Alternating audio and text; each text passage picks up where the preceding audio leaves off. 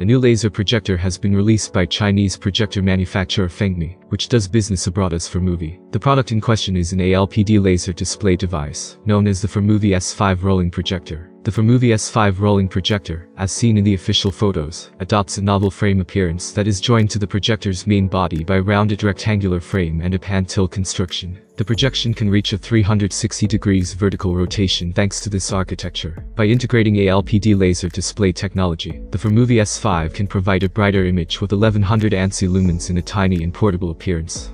The entire device can be converted into a suspended desktop audio system when the projector is closed. A Skull team works with the renowned audio brand Denon to construct the stereo sound system. Additionally, it is much simpler to construct and use because to the Feng OS and other innovative automation. The projector's excellent appearance also emphasizes how important it is to support wireless charging. Wireless charging capable gadgets can be charged using the base. At CES 2023, Movie also launched the Movie V10 projector.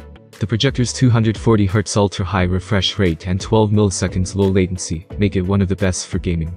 Movie V10 offers a superb viewing experience, in addition to real 4K resolution and 2500 ANSI lumens. Additionally included are standard 7.5 watts full-range speakers and a dedicated 15 watts subwoofer.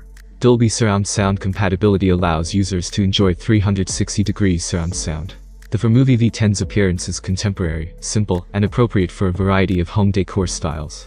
I also want to talk more about the Fengmi S5 model, which in fact, will be the basis for the Movie S5 rolling projector. Let's go through the main features of the standard S5 model.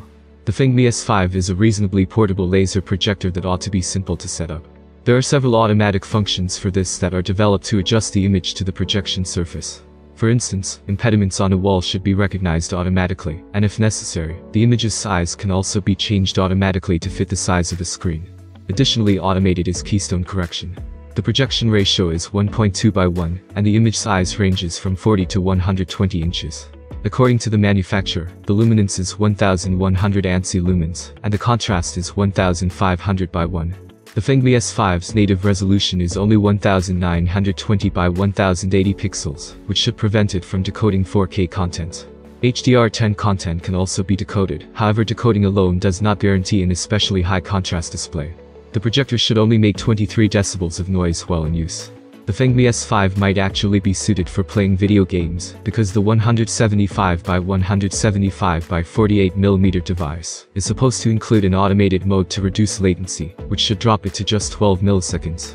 USB 3.0, USB Type-C, and HDMI 2.1 port can all be used to connect external devices.